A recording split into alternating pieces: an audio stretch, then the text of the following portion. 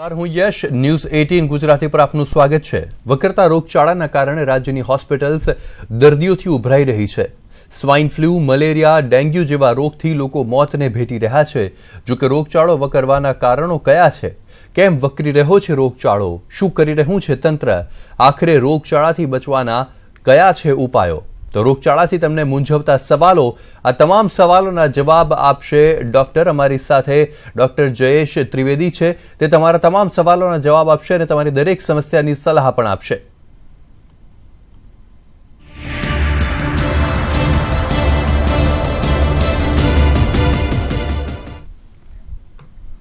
તો રાજ્યમાં રોગચાળો વકરી રહ્યો છે. દિવસે ને દિવસે સ્વાઇન ફ્લૂથી ભરડો વધી રહ્યો છે. ત્યારે એક દિવસમાં સ્વાઇન ફ્લૂના વધુ પંચાવન કેસ નોંધાયા. અમદાવાદમાં સૌથી વધુ તેર કેસ તો સાબરકાંઠા અને ભાવનગરમાં છ છ કેસ નોંધાયા છે.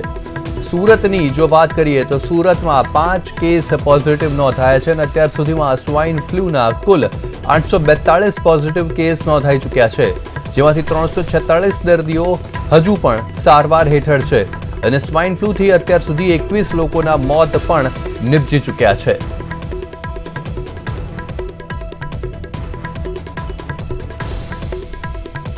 તો રાજ્યભરમાં સ્વાઇન ફ્લૂ તેમજ ડેન્ગ્યુનો ભરડો વધી રહ્યો છે અને દિવસે ને દિવસે અસરગ્રસ્ત દર્દીઓની સંખ્યામાં વધારો થઈ રહ્યો છે.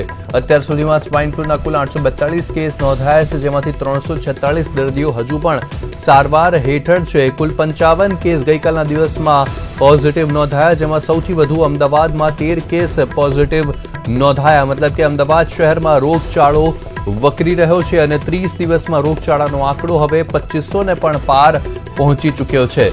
સાદા મેલેરિયાના નવસો કેસ અત્યાર સુધીમાં નોંધાઈ ચૂક્યા છે તો ઝેરી મેલેરિયાના એકસો કેસ નોંધાયા છે. તે સિવાય ડેન્ગ્યુના પણ ત્રણસો કેસ નોંધાઈ ચૂક્યા છે. ચિકનગુનિયાના પણ હાલમાં એકવીસ કેસ નોંધાઈ ચૂક્યા છે, જેના કારણે દર્દીઓ ખૂબ પરેશાન છે અને પાણીજન્ય રોગના એક હજાર ને ત્રાણું કેસ નોંધાયા છે. ઝાડા ઉલટીના ત્રણસો સત્તાવન કેસ અત્યાર સુધી સરકારની ચોપડે ચઢી ચૂક્યા છે તો કમળાના ત્રણસો ઓગણપચાસ કેસ નોંધાયા છે. જે દર્દીઓ સારવાર હેઠળ છે, તો ટાઇફોઇડના પણ ત્રણસો એંશી કેસ નોંધાઈ ચૂક્યા છે. કોલેરાના પણ સાત કેસ નોંધાયા છે.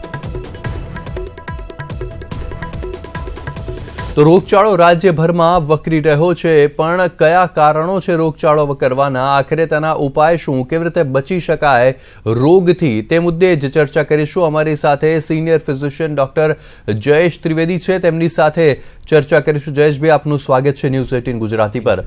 સૌથી પહેલો સવાલ, અત્યારે મુખ્યત્વે કયા કયા રોગ ફેલાયેલા છે હવામાં? તેમજ પાણીજન્ય કેવા પ્રકારના રોગો ફેલાયા છે જેના કારણે લોકો પરેશાન છે અને જેનાથી લોકોએ બચવું જોઈએ? આપે જે વાત કરી એ પ્રમાણે અત્યારે જે જે મોસ્કિટો બોન્ડ ડિસીઝ એટલે મચ્છરને થતા મચ્છરને કારણે થતા રોગો અથવા અને બીજા વોટર બોન્ડ ડિસીઝ બે અત્યારે એનું માત્રા વધારે છે. વોટર બોન્ડ ડિસીઝ જોવામાં આવે તો એમાં હિપેટાઇટિસ એટલે જેને કમળો કહેવામાં આવે છે. હિપેટાઇટિસ એ હિપેટાઇટિસ ઈ એ બહુ કોમન છે. ગેસ્ટ્રોએન્ટ્રાઇટિસ ઝાડા ઉલટીના ટાઇફોઇડ એ બધા ડિસીઝીસ પાણીજન્ય રોગો છે. જ્યારે મચ્છરજન્ય રોગોમાં જે આપણે વાત કરીએ એ પ્રમાણે ડેન્ગ્યુ છે, લેપ્ટોસ્પાયરોસિસ છે, એન્ડ બીજા ચિકનગુનિયા છે, એ એને લીધે બીજા ફોમાઇટ્સ અને એરબોર્ન ડિસીઝ છે, એ આપણે જે સ્વાઇન ફ્લૂની વાત કરી, એ એરબોર્ન ડિસીઝની અંદર આવતા હોય છે. એટલે એ વાયરલ ડિસીઝ છે. એટલે આ એ પ્રમાણે ડિવાઈડ કરીએ તો આ ત્રણ ટાઈપના રોગો અત્યારે મેક્સિમમ પ્રચલ પ્રસરે છે. જરૂરથી તો આ હાલમાં આ રોગચાળો ફેલાવાનું કે રોગચાળો કરવાનું કારણ આપ શું માનો છો? શું વરસાદ પછી આ જે પરિસ્થિતિ છે તેના કારણે રોગચાળો વકરી રહ્યો છે કે અચાનક ગરમીની શરૂઆત થઈ ગઈ તેના કારણે કયું કારણ છે રોગચાળો ફેલાવાનું? મેઇન તો મોસ્કિટો જે ગ્રો થાય છે એને કારણે મોસ્કિટો બોન્ડ ડિસીઝ થતા હોય છે. એટલે આપણી આપણી પોતાની કેરલે, કેરલેસનેસ હોય છે. ઇન એડિશન ટુ ધેટ જે કોર્પોરેશનનું હોય, જે લોકોએ ઇન્સેક્ટિસાઇડ્સ નાખવાના હોય જેને કારણે મચ્છરનો ઉપદ્રવ ના થાય પાણી સ્ટોર્ડ ના થાય અને પાણીની અંદર જો કોઈ માની લો કે કોઈ જગ્યાએ સ્ટોર થયું હોય તો એના ઉપર તમે કેરોસીન નાખી શકો ગેમેક્સિન પાવડર ડીડીટી એવું નાખી નાખી શકો જેને કારણે મચ્છરનો ગ્રોથ ના થાય. અને આ જે ડેન્ગ્યુને એના મચ્છર છે ચિકનગુનિયાના મચ્છર એ શુદ્ધ પાણીના મચ્છર છે. જ્યારે ફાલ્સીપેરમ અને સાદો મલેરિયા જી. એ એનોફિલિસ મચ્છર હોય છે કે જે ગંદા પાણીના મચ્છર હોય છે. એટલે આમ ડિવાઈડ કરીએ તો આ બે જાતના મચ્છરોથી થતા હોય છે. જી. હાલમાં હાલમાં એક દર્શક મિત્ર જયેશભાઈ અમારી સાથે જોડાઈ ગયા છે. વડોદરાથી તેમનો શું સવાલ છે તે જાણીએ. જણાવશો આપ શું પૂછવા માંગો છો? પૂછવા એ માંગુ મારો બાબો ચૌદ વર્ષનો છે. પેશાબની તકલીફ છે. ઘણા ડોક્ટરોને બતાવી લીધું છે. એને પથારીમાં પેશાબ કરી લે છે. જી. એના માટે મારે સલાહ જોતી બે ત્રણ ડોક્ટર ને બતાવ્યું પણ એ એમ કે છે કે એને નાનપણથી જ તકલીફ છે કે તો કે એની આદત જ પડી ગઈ બાકી કઈ છે નહીં કે પણ મને એવું લાગે. કે એને ગોળી એક ચાલુ કરી છે એ ગોળીથી ગોળી પીએ તો ક્યારેક રોકાય ક્યારેક થઈ જાય છે. જી જરૂરથી ડોક્ટર આ આ- આની વિશે શું આ અત્યારે આ ક્વેશ્ચન આપણી સાથે જે અત્યારે ડિસ્કસ કરી છે એની સાથે રિલેવન્ટ નથી પણ તે છતાં એની ટ્રીટમેન્ટ હું આપને કહી દઉં. આમાં એવું કરો કે છોકરાને સાંજે છ સાત વાગ્યા પછી એને પાણી પીવડાવવાનું બંધ કરો. અને ત્યાર પછી જ્યાં જ્યાં સુધી સૂઈ ના જાય ત્યાં સુધી દર અડધો કલાકે પેશાબ લાગે કે ના લાગે પણ એણે પેશાબ કરવા જવું જોઈએ. બીજી વસ્તુ એ છે કે એને વોર્મ ઇન્ફેસ્ટેશન્સ આંતરડાની અંદર વોર્મ્સ હોય બાળકને એ એક કોમન પ્રોબ્લેમ છે. અને ત્રીજી વસ્તુ જ્યારે માણી બાળક પથારીમાં પેશાબ કરે ત્યારે એક એલાર્મ જેવું વગાડવાનું રાખો જેને કારણે એલાર્મથી બાળક જાગશે અને એને એવી એવી હેબિટ પડી જશે કે એ નહીં કરી શકે. જી જરૂરથી. હાલમાં મહેસાણાથી અને એક દર્શક મિત્ર અમારી સાથે જોડાયા છે. જે જણાવશો આપનો શું સવાલ છે? અ, સર હમણાંથી મારે બ્રિધિંગ પ્રોબ્લેમ વધે છે. લાસ્ટ બે દિવસથી. અને અમારે વિસ્તારની અંદર બેથી ત્રણ ડેન્ગ્યુના કેસ બી છે. તો હું એની અસર મને હોઈ શકે ખરી? જી. મને મને બહુ ખાસ ખ્યાલ નહીં આવ્યો એમણે શું કહ્યું? જી તે તેઓ તેઓ કહી રહ્યા છે કે એમને થોડા દિવસથી અનઇઝીનેસ ફીલ થઈ રહી છે અને તેમના વિસ્તારમાં અન્ય બે ત્રણ ડેન્ગ્યુના કેસીસ પણ નોંધાઈ ચૂક્યા છે. તો શું તેની અસર તેમને હોઈ શકે? ઓકે. જો ટેમ્પરેચર તાવ ના આવતો હોય, કારણ કે ડેન્ગ્યુ એ મચ્છર કરડવાથી થતો રોગ છે અને એમાં હાઈ ગ્રેડ ટેમ્પરેચર હોય જરૂરી છે. એટલે તમારું તાવ એકસો એક, એકસો બે, એકસો ત્રણ ફેરનહીટ જેટલો હાઈ ગ્રેડ તાવ આવે ઠંડી લાગે, સિવિયર બોડી એક થતું હોય કે જેને આપણે બોન બ્રેકિંગ ફીવર બી કહીએ છીએ ડેન્ગ્યુને. એટલે હાથ પગ ભયંકર રીતે તૂટતા હોય વોમિટિંગ થતી હોય, ખાવાની ઈચ્છા ના થતી હોય, ઊંઘ ના આવતી હોય, એ ટાઈપના સિમ્ટમ્સ હોય તો આપણે એને ડેન્ગ્યુ કહી શકાય. અને જો તમને એવો કોઈ પણ જાતનો ડાઉટ લાગે તો એક સાદો બ્લડ ટેસ્ટ કરાવી લો જેને કમ્પ્લીટ બ્લડ કાઉન્ટ કહેવામાં આવે છે. એમાં ડબલ્યુબીસી અને પ્લેટલેટ કાઉન્ટ જોવા અગત્યના હોય છે. સામાન્યતઃ એ લોકો સાદા ડેન્ગ્યુ હોય છે એમાં બહુ ચિંતા કરવા જેવી નથી વસ્તુ. હતું હાઇડ્રેશન સૌથી અગત્યની વસ્તુ છે.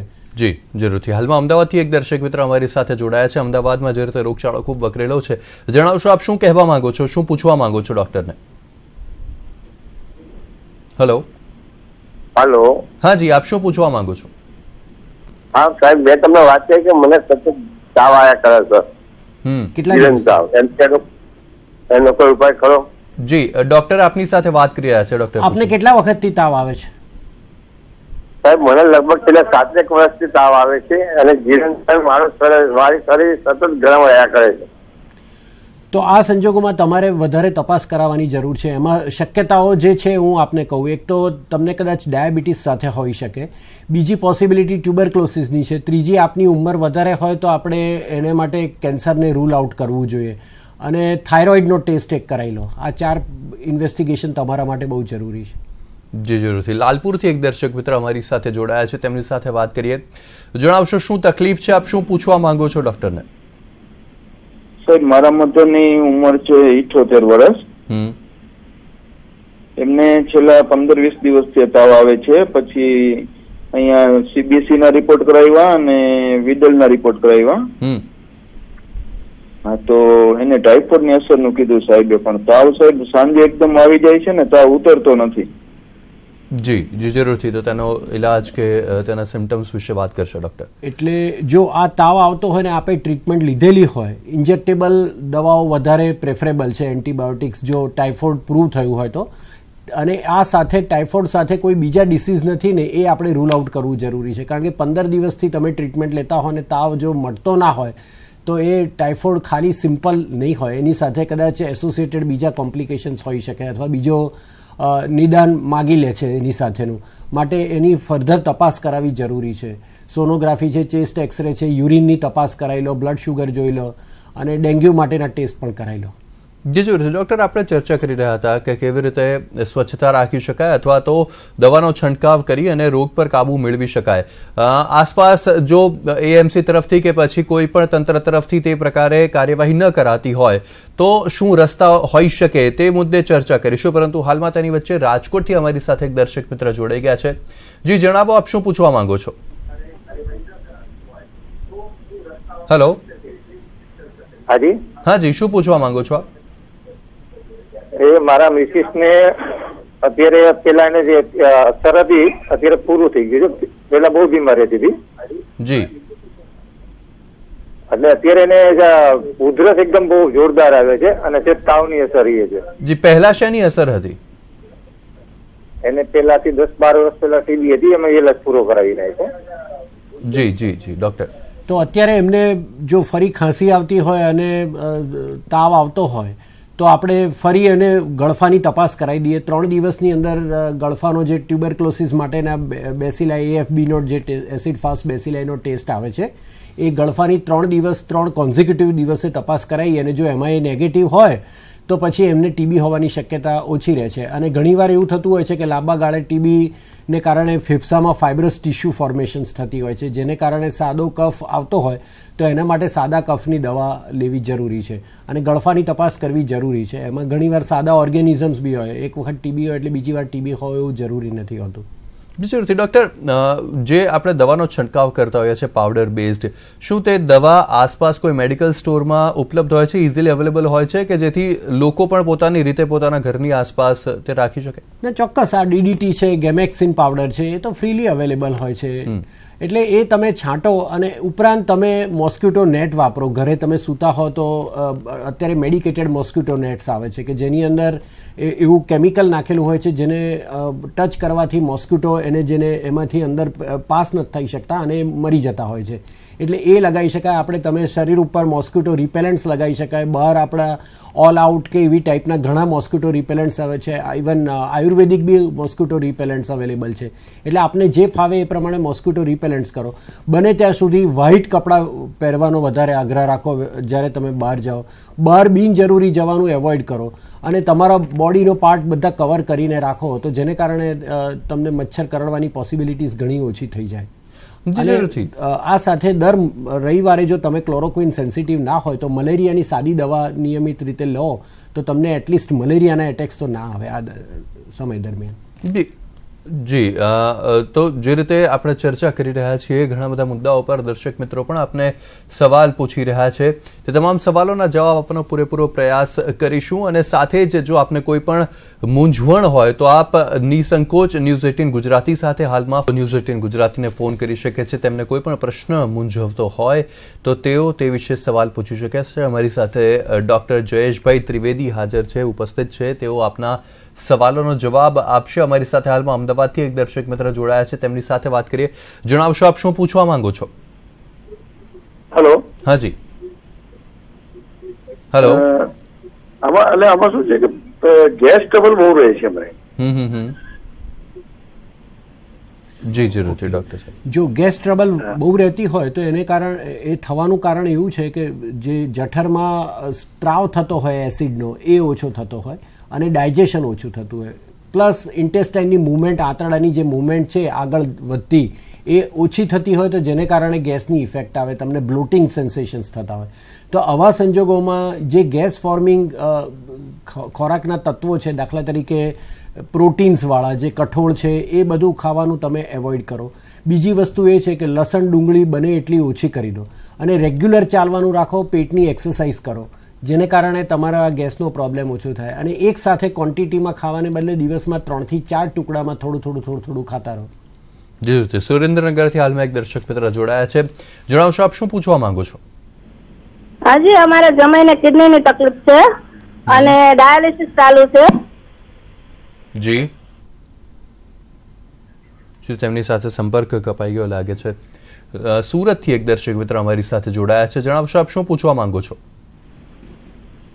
હેલો હેલો હા જી શું પૂછવા માંગો છો? સર મને આમ બે વર્ષ એસિડિટી બહુ રહે છે. શું શું રહે છે? એસિડિટી એસિડિટી ગેસ એસિડિટી અચ્છા અચ્છા. જી ડોક્ટર સાહેબ. એટલે આ કોમન વસ્તુ છે એસિડિટી રહેવી એટલે રાત્રે ઉજાગરા બહુ થતા હોય અથવા બહુ મોડું સૂતા હોય અથવા સારી રીતે ઊંઘ ના આવતી હોય. અને ચા કોફી વધારે લેવાતી હોય મરચાંવાળી આઈટમ વધારે લેવાતી હોય ખાટી વસ્તુઓ વધારે જતી હોય તો આવી બધી વસ્તુઓને કારણે અથવા ઉપવાસ વધારે કરવામાં આવતા હોય તો એ સંજોગોમાં એસિડિટી થવાની પોસિબિલિટી વધારે રહે છે. વારે ઘડીએ એસિડિટી થતી હોય તો તમારે એક અપર જીઆઈ એન્ડોસ્કોપી એટલે દૂરબીનથી આપણે તપાસ કરીને એમાં જોઈ લેતા હોઈએ છીએ. ઘણીવાર એચ પાયલોરી એક બેક્ટેરિયલ ઇન્ફેક્શન છે જે થવાને કારણે એસિડિટીની પ્રક્રિયા વારે ઘડી થતી હોય છે. બીજું શરીરના દુખાવાની કોઈ મેડિસિન તમે લેતા હો વારે ઘડીએ તો એને કારણે જેને એનએસએઆઈડી કહેવાય છે દુખાવો ના થાય એના માટે ઇબ્યુપ્રોફેન છે કે તમારું પ્રોક્સિવોન કે એ ટાઈપની જે બધી મેડિસિન આવે છે એ એને કારણે પણ એસિડિટી થતી હોય છે. એટલે કારણ તમે તમે જાતે પણ શોધવા પ્રયત્ન કરી શકો છો અને ડૉક્ટરની બી મદદ લઈ શકો છો. જી અમદાવાદથી હાલમાં અમારી સાથે એક કોલર જોડાઈ ગયા છે. જણાવશો શું મૂંઝવણ છે? આપને શું પૂછવા માંગો છો? મારા બાબુ દસ વર્ષનો છે મારો બાબુ. એને અઠવાડિયાથી માથું દુખાવાની બહુ તકલીફ થાય છે. જી હા તો શું એનું પ્રોબ્લેમ હશે? કારણ કે અમે દવાખાને બતાવી પણ જોયું છે. જી જરૂરથી જરૂરથી ડૉક્ટર સાહેબ. આપના બાબાને જે માથા દુખવાની તકલીફ છે એટલે એના માટે મારી તમને એક એવી સલાહ છે કે એક તો આંખની તપાસ કરાવી લો કારણ કે ઘણીવાર બાળકોને ચશ્મા હોય છે. બીજી વસ્તુ એ છે કે આ વાસ્ક્યુલર હેડેક છે એટલે માઇગ્રેન જેને આપણે આધા સીસી કહીએ છીએ એ ટાઈપનું દુખાવો છે. એ કરતા માટે, કરવા માટે એક મગજનો એક એમઆરઆઈનો તપાસ કરાયેલો, જેને હાઈ સોફિસ્ટિકેટેડ ઇન્વેસ્ટિગેશન કહેવાય છે. એટલે મગજમાં થતી ગાંઠ અથવા મગજમાં કોઈ ઇન્ફેક્શન હોય તો આપણને ટાઈમસર ખબર પડે તો આપણે એને ઇન્ટરફિયર કરી શકીએ.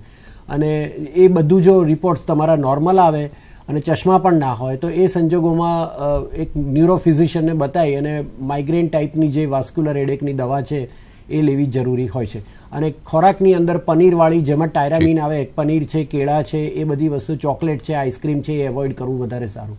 જી જરૂરથી હાલમાં ગાંધીનગરથી અમારી સાથે એક દર્શક મિત્ર જોડાયા છે. જણાવશો શું તકલીફ છે? શું પૂછવા માંગો છો આપ? સર મારી વાઈફ ને અહીંયા થાઇરોઇડ તકલીફ ને લેબોરેટરી અને સોનોગ્રાફી કરી ડોક્ટરે કીધું અંદર થાઇરોઇડ ગ્રંથિની ગાંઠ થઈ ગઈ છે. નાની પચીસ તો સિઝેરિયન કર અરે સર્જરી કરાવી પડશે એમ. આપની? વાઈફની ઉંમર કેટલી છે? થર્ટી ટુ છે સર થર્ટી ફોર જો થર્ટી ફોર યર્સના બેન હોય અને એમને ગળામાં થાઇરોઇડની ગ્લેન્ડ હોય અને થાઇરોઇડની ગ્લેન્ડની અંદર એક ટ્યુમર ટાઈપનું હોય અથવા તો સિસ્ટ હોય જે કંઈ હોય એના માટે બેસ્ટ વસ્તુ એ છે કે તમે કોઈ એક ઈએનટી સર્જન કે કોઈને બતાવી અને રેડિયો ન્યુક્લિયર સ્કેન કરાવી લો. અને થાઇરોઇડની સોનોગ્રાફી કરે સોફ્ટ ટિશ્યુ સોનોગ્રાફી કહેવાય છે. એ કરીને આપણે પ્રૂવ કરી દેવી પડે કે એ સિસ્ટ છે કે સોલિડ ટ્યુમર છે. અને બેટર એ છે કે એ ટ્યુમરને કઢાઈ નાખવી વધારે સારી. અને જરૂર પડે તો ડૉક્ટરે એફએનએસી કે જે ફાઇન નીડલ એસ્પિરેશન બાયોસાઇટોલોજી કરીએ છીએ એ કરાવી અને એની વ્યવસ્થિત ટ્રીટમેન્ટ લેવી જરૂરી છે. કારણ કે ઘણીવાર આ લાંબા ગાળે આ ટ્યુમરમાંથી કેન્સર થવાની શક્યતા રહેતી હોય છે. જરૂરથી સુરેન્દ્રનગરથી હાલમાં અમારી સાથે દર્શક મિત્ર જોડાયા છે. જણાવશો આપનો સવાલ. હેલો? હાલો હાજી હાજી આપનો સવાલ જણાવશો. મારો સવાલ છે મારા મિસિસ ને ઉધરસ બહુ છે ને વામિન બહુ થાય છે અને ઉધરસ મળતી જ નથી શરદીની. જી. અમને માટે એક તો તમે એમને બેનને ખાંસી સાથે ગળફા આવતા હોય તો ગળફાની તપાસ કરાવી જરૂર છે. એક બ્લડ ટેસ્ટ કરાવી લઈએ કે જેમાં ઇમ્યુનોગ્લોબ્યુલિન ઈ લેવલ જોવું હોય કે જેને કારણે એલર્જીક કફ હોય તો આપણને ખબર પડી શકે છે. છાતીનો એક ફોટો પડાવી લેવો અને ટીબી માટેની તપાસ કરવી જરૂરી છે. પ્રોપર એન્ટીબાયોટિક જે જરૂર પડે અને બ્રોન્કોડાયલેટર જેને શ્વાસ નળી ઉપર સોજો આવે એના માટેની દવા અને મોન્ટોલુકાસ લિવોસેટ્રિઝિન ટાઈપની કોમ્બિનેશન આવે છે કે જે એન્ટી એલર્જીક ડ્રગની અંદર વાપરવામાં આવે છે. એ સાથે એક વોર્મ ઇન્ફેસ્ટેશન્સ કે જ્યારે પેટમાં કરમિયા હોય તો પણ આવું થઈ શકતું હોય છે. એની ટ્રીટમેન્ટ સાથે લેવી જરૂરી છે. જી, નર્મદાથી હાલમાં એક દર્શક મિત્ર અમારી સાથે જોડાયા છે. જણાવશો આપનો સવાલ શું છે? હેલો હાજી સર. હાજી હાજી આપનો સવાલ જણાવશો. સર મને ડાયાબિટીસ છે. હાજી આગલા છ વર્ષથી ને મારા શરીરમાં અમુક ટાઈમે ખાવાનું પચતું નથી. ને શરીર એકદમ અ, પાતળું એટલે ડૂગું થઈ ગયું છે. તો એના માટે કોઈ જલ્દી શરીરમાં તાકાત આવે ને જી. મારું શરીર સુધરે એવું કોઈ. દવા ખરી?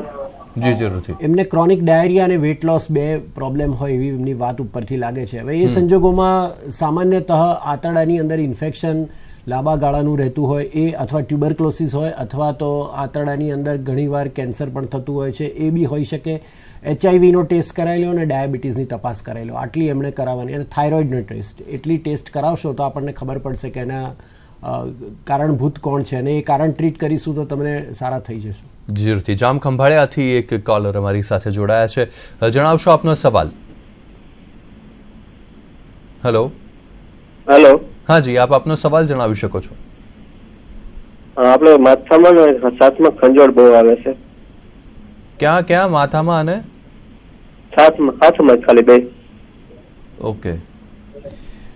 અમની વાત ઉપરથી એવું લાગે છે કે કદાચ માથામાં ખોડો હોય કે એ ટાઈપનું હોય તો એના માટે ટ્રાય જે મેડિકેટેડ શેમ્પૂ આવે છે એ શેમ્પૂ આપણે નિકોલ જોન્સન કંપનીના બી છે અને બીજી બી કંપનીઓના છે. એટલે ટ્રાઇબેન શેમ્પૂ કરીને આવે છે. એ શેમ્પૂથી માથાનું ધોવાનું અઠવાડિયામાં ત્રણ દિવસ રાખો અને નિઝોરાલ કે એવી કોઈ ટાઈપના શેમ્પૂ હોય એ પણ આપણે વાપરી શકીએ છીએ. હાઇજીન એક અગત્યની વસ્તુ રહેતું હોય છે. બને ત્યાં સુધી વાળ ઓછા રાખો.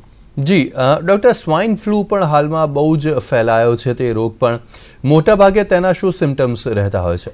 સ્વાઇન ફ્લૂ એટલે એચ વન એન વન વાયરસથી થતો આ રોગ છે. એ સિવાય પણ H three N two H three N one H two N one આ ટાઈપના વાયરસીસ આવે છે કે જે મોસ્કુટ જે ફોમાઇટ્સથી એટલે માની લો કે જે કોઈ પેશન્ટને દર્દીને એ એક ઇન્ફ્લુએન્ઝા વાયરસ છે.